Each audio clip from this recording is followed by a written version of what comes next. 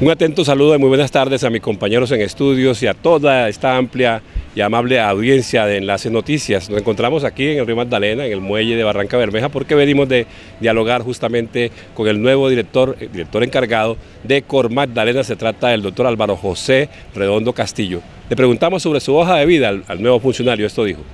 Bueno, yo soy ingeniero industrial, soy especialista en gerencia empresarial, tengo maestría en administración de empresas Em, en el tema de experiencia en lo público, a partir del año 2012 eh, hasta, hasta exactamente octubre del año pasado, eh, he estado vinculado como servidor público, secretario de despacho eh, en los últimos tres gobiernos o en las últimas tres gobernaciones del departamento de Bolívar.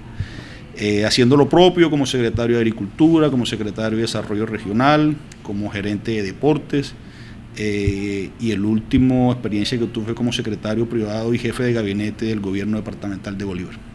El alto funcionario ha dicho algo trascendental.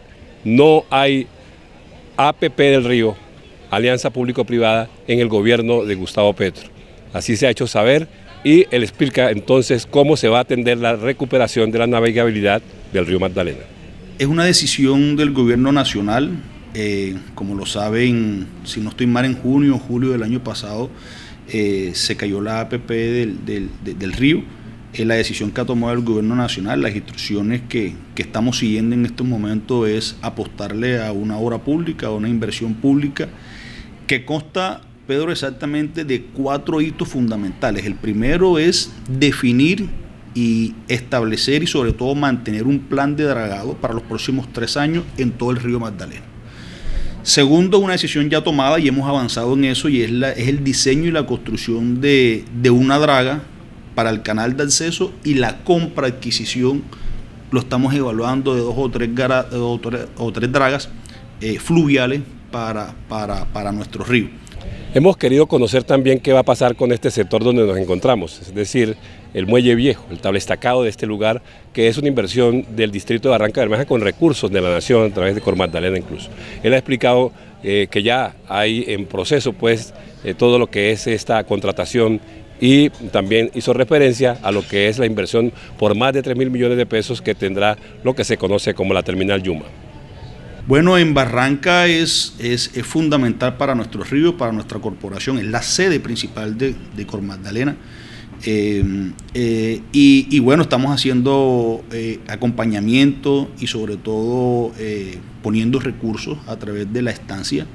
el distrito de Barranca acaba de ser, de adjudicar, si no estoy mal, el mes inmediatamente anterior, una inversión para, la protección aquí de más de 19 mil millones de pesos. Esos son recursos del Sistema General de Regalía de la Corporación. Una buena noticia es que espero que no más de tres meses estemos iniciando también todo el proceso de recuperación eh, de aquí del, muelle de Yuma. Eh, son unos recursos que están alrededor de los 3.500 millones de pesos. También lo vamos a hacer.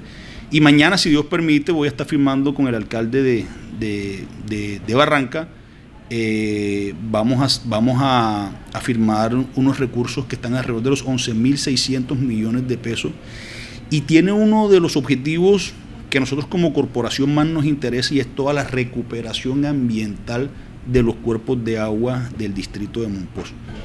Aprovechamos para preguntarle al alto funcionario del Gobierno Nacional, director encargado de Cor Magdalena, el doctor Redondo, sobre la inversión del gobierno distrital en cuanto a este mirador del río, tan polémico él, la, proyección de este malecón en este lugar y esto ha dicho. Me lo presentó la alcaldía de Barranca hace aproximadamente un mes. Yo creo que además de ser una obra pues, de protección importante para, para el distrito de Barranca, es extremadamente necesaria y yo espero que tenga el concurso nacional y estamos dispuestos también, si así lo requiere el distrito, que la corporación pueda eh, hacerse parte de ese gran proyecto. Ese pues el diálogo de Enlace Noticias con el nuevo director, director encargado de Cor Magdalena, Álvaro José Redondo, quien ha mostrado todo lo que es la proyección de, su gestión al frente de esta importante corporación. Con la cámara de Libardo Rueda, un informe de Pedro Severiche. Muy buenas tardes.